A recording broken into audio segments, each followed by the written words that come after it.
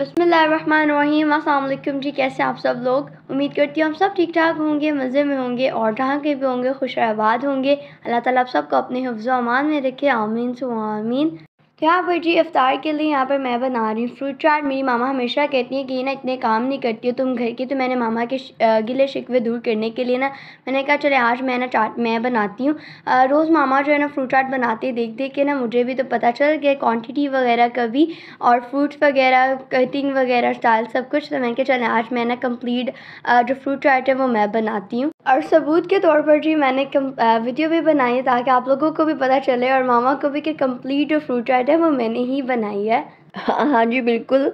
और ना ये इतनी इसने लॉन्ग वीडियो बना दी। मैंने हालाँकि इसकी इतनी फिर मैंने स्पीड तेज़ की मैं क्या फातिमा इतनी लंबी वीडियो तुम्हारी चार्ट की कौन देखेगा? कहती अच्छा मामा मैं तो आराम आराम से लगी हुई थी ताकि सबको पता चले ऐसे ऐसे चार्ट बनाते हैं। मैं क्या नहीं चलो तुम ऐसे करो फिर स्पीड तेज़ कर दो। तो कहती हाँ मामा देखो ऐसे लगेगा कि देखिए जैसे कितनी मैं छटपट बना रही हूँ। मैं क्या हाँ व्यूवर्स जितने भी पागल नहीं है। कि उन्हें पता ही ना चले कि वो स्पीड तेज़ की हुई है ना।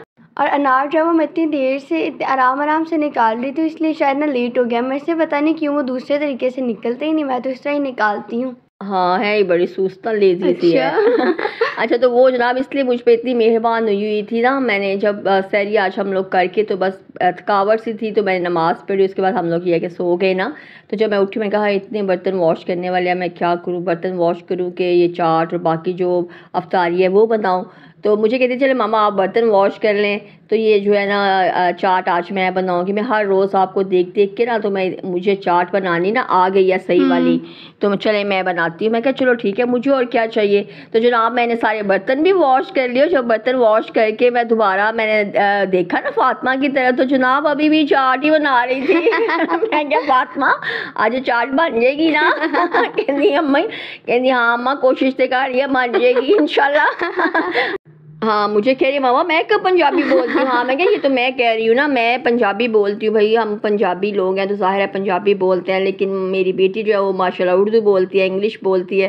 तो बस मैं जब बात कर रही होती हूँ ना अक्सर मैं भी इनके इनके साथ उर्दू में बात करती हूँ लेकिन अक्सर ये है कि मैं पंजाबी में बोलूँ ना तो मुझे देख के कहती होती अम्मा अब कैसे बोल रही है ना बाज बातों की इनको समझ नहीं आती है हाँ। जब मेरी शादी हुई ना तो मेरी मदर लॉ जो थी माशा मेरी अम्मी अबू जो थे वो भी पंजाबी बोलते थे ना तो वो अक्सर जिनकी बातें ना पंजाबी में इनके करते तो बड़ी सही वाली पंजाबी बोलते थे जो हम लोगों ने कभी इतनी यूज़ नहीं की थी ना तो वो वो भी मैं अक्सर वर्ड्स वो वाली बोलती हूँ ना तो वो जैसे दरवाज़ा होता है तो अब्बा जी ने कहना कि दरवाज़ा बंद कर दो ना तो वो दरवाज़ा नहीं कहते कहते बुआ बंद कर दी।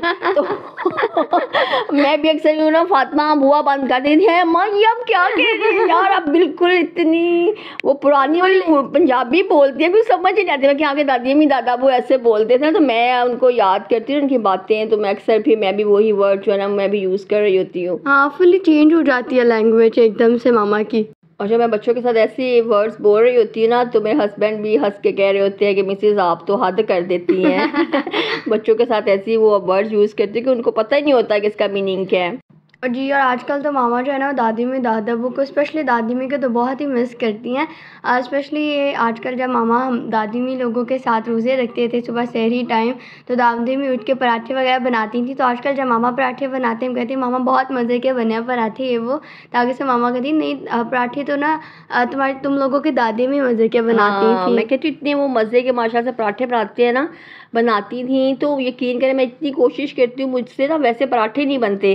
तो भी मेरे हस्बैंड मैं अपने हस्बैंड से कह रही होती कि अम्मी के हाथ के पराठे खाने वाले होते थे और माशा इतने वो मज़े के बनाती थी और फिर मैं खुद कहती कि वाकई उनमें वो शायद इतनी मोहब्बत से इतने प्यार से बनाती थी कि पता नहीं क्यों मैं आज तक उनके पराठों को ना कॉपी नहीं कर सकी ना।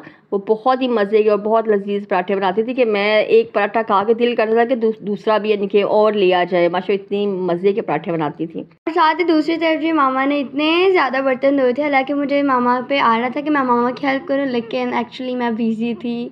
सॉरी मैं चाट बनाने में बहुत बिज़ी थी और इतनी देर में मैंने जो है ना वो चाट बनानी थी और मामा ने जो है ना अपने कंप्लीट बर्तन है वो वॉश कर लिए थे। हाँ लेकिन शिफा मेरे साथ लगी थी तो छोटे छोटे जो बर्तन थे ना शिफा मुझे पकड़ा रही थी या जो मैं धो रही थी तो वो उठा उठा के ना तो रख रही थी। माशाल्लाह भला करे, मेरी छोटी बेटी भी माशाल्लाह बहुत ना हेल्प करती है मेरी। और साथ ही जिसके बाद मामा बनाने लगे यहाँ पर पकोड़े, जो हमारे रेगुलर व्यूवर्स हैं, उन्हें तो पता चल ही गया होगा कि पकोड़ों के बगैर तो हमारे घर में ना अफ्तारी इनकम्प्लीट समझी जाती है, चाहे कुछ और भी बनाओ, जो कुछ भी। लेकिन पकोड़ों के बगैर तो अफ्तारी जो है ना नामुकम्मल लगती है। और हमारे घर में जो है ना, पकौड़े बहुत ही पसंद किए जाते हैं। हम सब पकौड़े लवर्स हैं।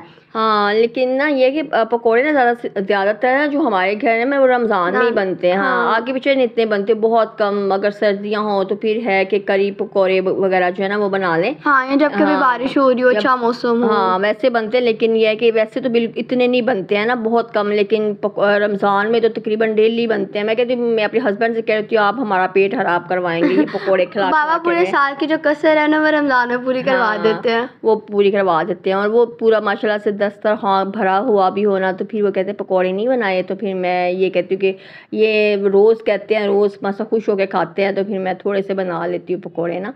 और पकौड़ों की रेसिपीज़ में आप लोगों को अब क्या ही बताऊँ, जो रेगुलर व्यूवर्स हैं, उन्हें तो पता चले ही क्या होगा। मुझे लगता है अब आप लोगों को ज़ुबानी याद होगी होगी पकौड़ों की रेसिपी और कुछ आप लोगों ने स्क्रीन पे देखा ही होगा कि मामा ने क्या क्या डाला है और कितनी क्वांटिटी में जो है वो डाला है। पकौड़ों का मिश्रण तैयार करने के बाद साथ ही जी मैं भाई मामा बनाने लगी हैं रोटियाँ। तो चलें जब आते हैं थोड़ी गपशप की तरफ़। तो आप लोग बताएँ जी, आप लोगों ने ईद की तैयारियों में कहाँ तक पहुँच हैं? ईद की तैयारियाँ आप लोगों के घर में शुरू हो गई हैं।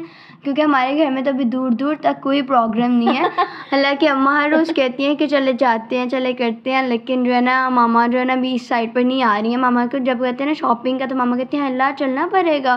तो मैं कहती हूँ हाँ ज़ाहिर सी बात है मामा चल के शॉपिंग करेंगे। तो फिर मामा कहती हैं अल्लाह कितनी अजीब लगूँगी आगे मेरे पाँव में जो है वो हाँ। दर्द होती है। हाँ मैं कहती हूँ पाँव पे मेरे वज़न इतना पड़ता तो चलते हुए कितनी अजीब लगूँगी लोग कहेंगे कि देखे ठीक नहीं है तो आराम से घर में बैठती अच्छा कौन कहेगा? हाँ तो वो बस खुद ही दिल में आ जाता है ना तो तो मैंने कहा, चले, ऐसे करते हैं कि ऑनलाइन ना शॉपिंग कर लेते हैं, कुछ तो फातमा कहते हैं मामा नहीं अनस्टिच लेते हैं। मैं कहा चलिए अनस्टिच भी अगर लेने हैं तो देखते हैं ऑनलाइन कर लेते हैं शॉपिंग लेकिन कहते नहीं, जाके तो फिर तो अभी कोई डिसाइड ही नहीं हो रहा ना देखते हैं हम लोग अभी डिफरेंट ब्रांड्स को ना लेकिन अभी कुछ खास डिसाइड नहीं हुआ। हम्म, बिल्कुल जिस तरह के हालात चल रहे हैं ना मुझे लग रहा है कुछ हमें जो है ना वो ऑनलाइन शॉपिंग करनी पड़ेगी और कुछ जाकर क्योंकि असल शॉपिंग का मज़ा तो तब भी आता है। और अगर मामा ना भी गई तो चले खैर हम बाबा साथ चले जाएँगे बाबा हमारे जिंदाबाद। हाँ माशाल्लाह, बिल्कुल, वो तो वाकई जिंदाबाद है। वो तो मैं ना भी गई हूँ ना तो जब अपनी शॉपिंग कर रहे होते हैं, साथ मेरे भी दो तीन सूट पकड़ लाते हैं, बच्चों के भी ले लेते हैं तो माशाल्लाह उन्हें करनी आती है। लेकिन उन्हें भी फिर यही होता है कि चले, फातमा या मैं या शिफा, हम लोग अपनी मर्ज़ी के, अपनी पसंद के ले लें, साथ चलें तो थोड़ा हल्ला गुला कर लेंगे इन्जॉयमेंट हो जाएगी बच्चों की भी ना। चले, चल फिर के देख दुख लेंगे। लेकिन अब क्या करूँ मेरे वज़न ही नहीं पड़ता पाँव पे ना। बड़ी कोशिश कर रही हूँ। अल्लाह का शुक्र है पहले से काफ़ी बेहतर है। तो इंशाल्लाह अल्लाह करे कि और कुछ दिनों तक सही हो जाए तो फिर इंशाल्लाह चलेंगे। हाँ बिल्कुल अल्लाह मामा को शिफा दे। और साथ ही जहाँ पर हमने ना इफ्तार का टाइम हो गया था तो मामा जो है ना वो मोमेंट मार्गरीटा बना रही हैं। और साथ ही जो मेरे भाई हैं वो पकौड़ों को फ्राई कर रहे हैं। और मामा ने यहाँ पर चिकन का साधन जो है ना वो बना लिया था। और सारे का टाइम कि करीब आ गया तो, तो हमने साथ जो है ना वो टेबल पे सेट कर लिया। इसलिए मामा जो है ना वो डिश आउट कर रही हैं। साथ साथ जो पकौड़ों का बैच है वो भी डन होता जा रहा है। और माशाल्लाह जी रमज़ान का पहला अशरा जो है वो कंप्लीट भी हो गया है। हाँ अल्लाह ताला जितनी भी इबादत की अल्लाह ताला कबूल फरमाए अपनी रहमत से अल्लाह हमारे गुनाहों को माफ़ फरमाए। और जितने भी बीमार अल्लाह ताला मेरे समेत मुझ समेत सबको शिफा दे। और मेरा भाई है मुझसे छोटा अल्लाह ताला उसको भी लंबी ज़िंदगी दे तंदुरुस्ती सेहत वाली अपने बच्चों में सलामत रखे। तो यहाँ पर जी रोज़ा जो था वो अफ्तार हो गया था तो हम लोग सब खजूरें खा रहे हैं। जी और हम अपनी इफ्तारी कर रहे थे और आज जी इफ्तार में थे हमारे घर हमने फ्रूट्स रखे थे साथ में फ्रूट चाट थी और साथ में जो रोटियाँ थी साथ पकौड़े थे और साथ में जी चिकन कढ़ाई थी और मिंट मार्गरेटा था। और ये था जी हमारा आज इफ्तार मेन्यू बहुत ही मज़े का था सब कुछ। और अलहमदिल्ला जो आज का रोज़ा जो है ना, वो भी हमारा मुकम्मल हो गया। अल्लाह ताला जो है ना, उसे कबूल फरमाए। आमीन आमीन।